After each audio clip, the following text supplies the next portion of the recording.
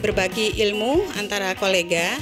Dan memang materi tidak hanya selalu tentang hewan eksotik. Dua ini unik, kami harus melakukan banyak hal, termasuk saya sangat bersyukur uh, Jatim 2 akhirnya disambangi sama EXO, yang ini insya Allah sebetulnya mimpi saya sejak lama dong.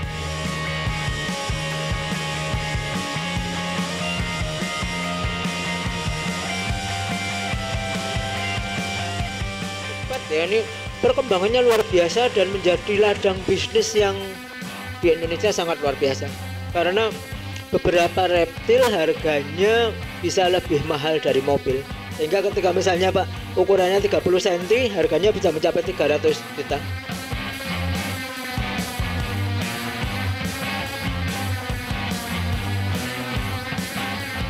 Ada dua jenis kelompok ular. Ular yang aktif pada siang hari atau diurnal dan aktif pada malam hari atau nocturnal. Ular-ular nocturnal ini tidak perlu dijemur.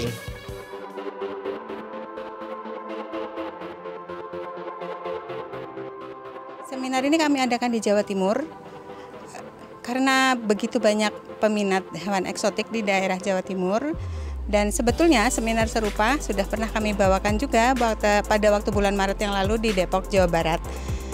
Ini adalah basic pengetahuan basic tentang ular dan kura-kura sejak dari uh, handling, restrain sampai nanti nekropsi. Karena kami ingin berbagi ilmu dengan rekan-rekan kolega semua dengan begitu banyaknya hewan eksotik yang sudah menjadi pet sehingga rekan-rekan kolega praktisi banyak sekali kedatangan pasien-pasien eksotik.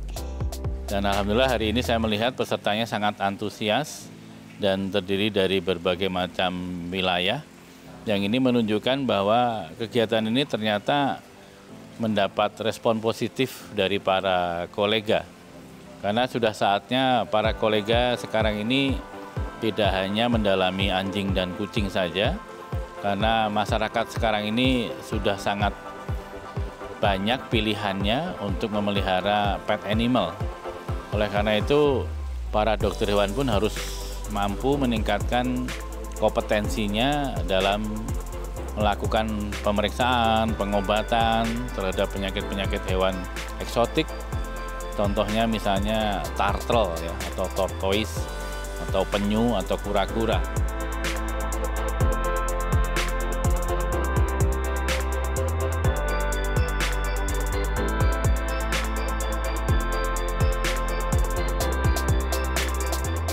Atau kalau saya, uh, saya sering menggunakan tutup dari container box sebagai penggantinya hook snake. Jadi fungsinya adalah ini kepala, ini saya papan itu kan, tujuannya adalah menekan ini, menekan belakang kepalanya.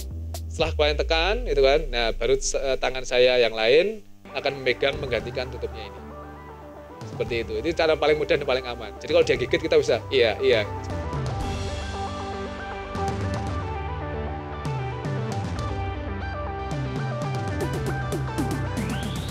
Dengan mengikuti seminar ini saya jadi lebih tahu, saya lebih paham uh, tentang penanganannya uh, saat kita menjadi dokter hewan nanti.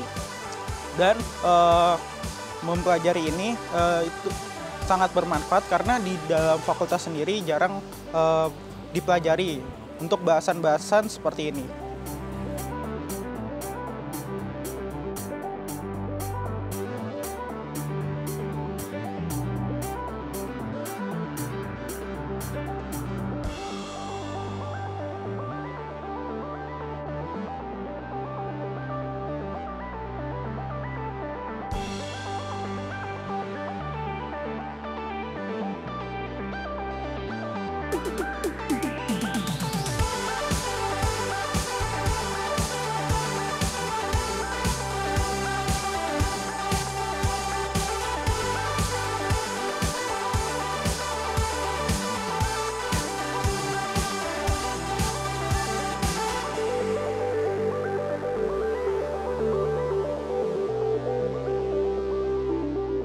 Akademisi di kampus ya, di, uh, tepatnya di lab patologi klinik.